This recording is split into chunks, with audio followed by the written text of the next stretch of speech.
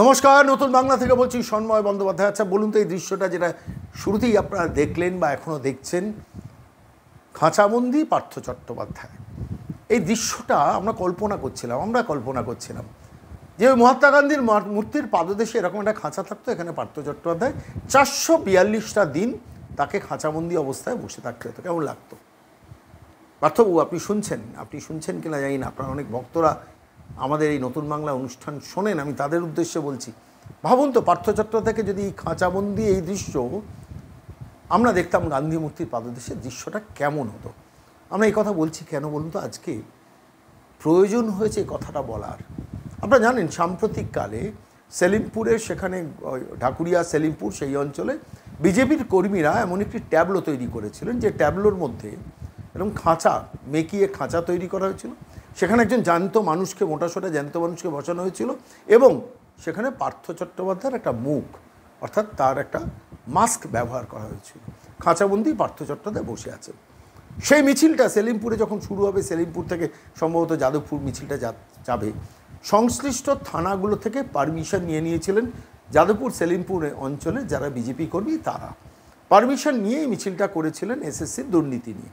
এবং শেষ পর্যন্ত চোর ধরো, জেল ভরো, এই স্লোগান দিয়ে মিছিলটা যখন রাজপথ দিয়ে এগোচ্ছে এবং পুলিশ, মনে রাখবেন, পুলিশের পারমিশন নেওয়া, সেই সেই সেই সেই মিছিলের মধ্যে ছিল এই ট্যাবলোটা যেখানে পার্থ চট্টোপাধ্যায়, মেকি মানে ডুপ্লিকেট পার্থ চট্টোপাধ্যায় শটান বসে আছে খাঁচার মধ্যে। এরপরেই উপরতলা থেকে খবর যায় যে এরকম কলকাতার রাজপথে সেলিমপুর থেকে যাদবপুর একটা মিছিল যাচ্ছে, যে মিছিলে খাঁচাবন্দি পার্থ চট্টোপাধ্যায়কে দেখানো হচ্ছে। ব্যাস, সঙ্গে সঙ্গে ইজ্জতে টান এবং সরাসরি নবান্ন থেকে নির্দেশ থ্রু লালবাজার যে ইমিডিয়েটলি মিছিল থামাতে হবে। পারমিশন দেওয়া মিছিল থামিয়ে দেওয়া হলো। কেন? ওই ট্যাবলো রাখা চলবে না। ওই খাঁচাবন্দি পার্থ চট্টোপাধ্যায়কে রাখা চলবে না। যার যাচ্ছে, ইজ্জত যাচ্ছে। আচ্ছা বলুন তো, যখন চাকরি চুরি করেছেন, যখন কোটি কোটি টাকা শিক্ষিত বেকারদের কাছ থেকে তোলাবাজি করেছেন, তখন ইজ্জত যায়নি? আর ইজ্জত যাচ্ছে খাঁচাবন্দি পার্থ চট্টোপাধ্যায়ের ট্যাবলোর জন্য? এবং শেষ পর্যন্ত কী হলো? যাদবপুর থানা পারমিশন দিয়েও সেই মিছিল আটকাতে গেল এবং সেই সেই ট্যাবলোর খাঁচা, সেই খাঁচাটাকে ভাঙতে গেলেন পুলিশ কর্মীরা। ভাঙতে গিয়ে যাদবপুর থানার ওসির এখানে এই জায়গায় কনুইয়ের কাছে একটা ছোট্ট চোট লাগল এবং তার বিনিময়ে সাতজন বিজেপির নেতৃস্থানীয় কর্মীকে খুনের খুনের ধারায় অভিযুক্ত করে কেস দেওয়া হলো। আপনি ভাবুন আপনি ভাবুন, খাঁচাবন্দি পার্থ চট্টোপাধ্যায় সেই ট্যাবলো ভাঙতে গিয়ে যাদবপুর থানার ওসির হাতে একটু চোট লাগল। সামান্য একটু রক্ত বেরিয়েছিল। তার জন্য নাকি বিজেপির কর্মীরা তাকে খুন করতে গিয়েছিল। দৃষ্টি ঘোরানোর খেলা, কোটি কোটি টাকা লুট এবং সেই লুট তৃণমূলের তহবিলে যাওয়া, সেটা মানুষ যখন দুচোখ পড়ে দেখছে, অবিশ্বাস্য সেই সব দৃশ্য। কোটি কোটি টাকা উঠেছে শুধু চাকরি বিক্রি করে, স্কুল সার্ভিসে চাকরি বিক্রি করে। কলেজ সার্ভিসের কাহিনী আমরা বলছি না, শুধু স্কুলে গ্রুপ সি, গ্রুপ ডি, নবম থেকে দ্বাদশ, প্রাইমারি, আপার প্রাইমারি, সমস্ত ক্ষেত্রে ব্যাপক দুর্নীতিতে যখন কোটি কোটি টাকা উঠেছে, আর ঠিক সেই সময় দাঁড়িয়ে এই দৃশ্য কলকাতাকে দেখানো যাবে না বলে শেষ পর্যন্ত সাতজন বিজেপি কর্মীকে বন্দি করে যাদবপুর থানা তাদের নামে খুনের কেসটা দিল। আমাদের প্রশ্নটা এখানে একদিন তো পার্থ চট্টোপাধ্যায়কে থাকতেই হবে জেলে। সিবিআই জেলে থাকবেন আমরা শুধু কল্পনায় আনছিলাম দৃশ্যটা। আজকে যারা ওই চারশো বিয়াল্লিশ দিন আন্দোলন করছেন এসএলএসটির ছেলেমেয়েগুলো, নবম থেকে দ্বাদশ, কয়েক হাজার ছেলেমেয়ে যাদের চাকরি থেকে বঞ্চিত করেছেন, প্রতারিত করেছেন মমতা বন্দ্যোপাধ্যায়, অভিষেক বন্দ্যোপাধ্যায়রা, ঠিক সেই জায়গায় দাঁড়িয়ে গান্ধী মূর্তির পাদদেশে একটা ইনকমপ্লিট মানে টেম্পোরারি এরকম একটা স্ট্রাকচার তৈরি করালো এবং তার মধ্যে পার্থ চট্টোপাধ্যায়কে জেলবন্দি রাখা হলো। দৃশ্যটা কল্পনায় আনছিলাম, কেন সেটাই তো বাংলার মানুষের প্রত্যাশা, শুধু এসএলএসটি ছেলেমেয়েগুলো না। সাধারণ বাংলার মানুষের এক্সপেকটেশন যে পার্থ চট্টোপাধ্যায় এভাবেই একদিন জেলবন্দি হবেন। সেলিমপুরের বিজেপি কর্মীদের কুর্নিশ, তারা অন্তত এই দৃশ্যটা দেখালেন। এই দৃশ্যটা কিন্তু বাংলার মানুষের মানস চক্ষে বারবার ভেসে আসছে, কবে পার্থ জেলে যাবেন, কবে সিবিআই তাদের জেলে নেবে। আমাদের খালি একটা প্রস্তাব রইল, জানেন? কলকাতা পুলিশের কাছে প্রস্তাব লিখিতভাবেও তাদের কাছে পাঠাবো। যে একটা পার্মানেন্ট স্ট্রাকচার করুন গান্ধী মূর্তির পাদদেশে। পার্থ যেদিন সিবিআই জেলে যাবেন, সেদিন থেকে পার্থকে ওখানে বসাবেন। সেটাই কিন্তু বাংলার মানুষের চাহিদা, প্রত্যাশা।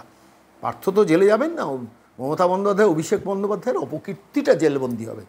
সে দিনটার অপেক্ষায় আমরা থাকলাম, কিন্তু এই মুহূর্তে আপনাদের সেই গান্ধী মূর্তির পাদদেশে নিয়ে যাব, যেখানে দাঁড়িয়ে একটি চ্যানেল প্রথম থেকে শেষ পর্যন্ত লড়ে যাচ্ছে। এখন কোনো কোনো চ্যানেল মাঝে মধ্যে এসে একটু কথা বলছে। রিপাবলিক আর সিএন বাংলা ধারাবাহিকভাবে এই লড়াইটা লড়ে যাচ্ছেন এই শিক্ষিত ছেলে মেয়েদের আন্দোলনের লড়াইটা লড়ছে। সেখানে সন্তু গেছেন, সাংবাদিক রিপাবলিকের এবং তিনি সরাসরি।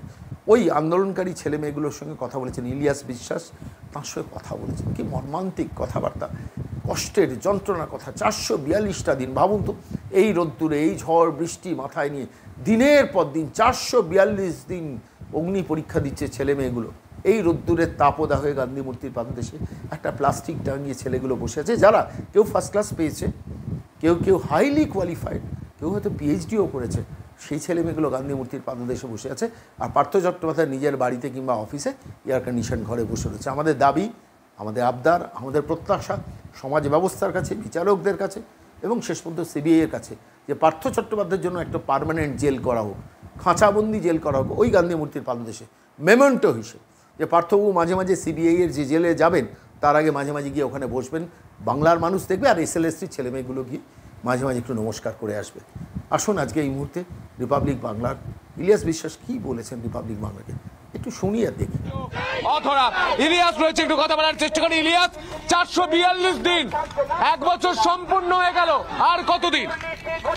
আর যতদিনই হোক না কেন এই দুর্নীতির শেষ দিকে আমরা ছাড়বো কারণ এটা আমাদের ন্যায্য দাবি। আমরা যেহেতু মুখ্যমন্ত্রী দু দুবার প্রতিশ্রুতি দিয়েও আমাদের এখনও পর্যন্ত আমরা রাস্তায় পড়ে আছি তাই আমরা যতদিন আমাদের দাবি পূরণ হবে যতদিন আমরা স্কুলে যাব ততদিন আমাদের এই আন্দোলন চলবে। কারণ এটা সমগ্র পশ্চিমবঙ্গবাসীর লজ্জা আজকে ফেল করা প্যানেলে না থাকা। আপনারা কি চাইছেন? আমরা চাইছি নাইন টু টুয়েলভ যারা মেধা তালিকায় প্রায় ছ হাজার প্লাস ক্যান্ডিডেট আছে তাদের সকলের নিয়োগ চাইছি। আপনারা কি চাইছেন? নিয়োগ চাইছেন? নিয়োগ চাইছেন? রেণুকা, তুমি দেখতে পাচ্ছ সেই ছবি তারা নিয়োগ চাইছেন তারা এই রাজপথের ধারে চারশো বিয়াল্লিশ দিন ধরে রোদ জল বৃষ্টি উপেক্ষা করে তারা বসে রয়েছেন তারা স্লোগান দিচ্ছেন তারা কাঁধে কাঁধে মিলিয়ে লড়াইটা করে যাচ্ছেন।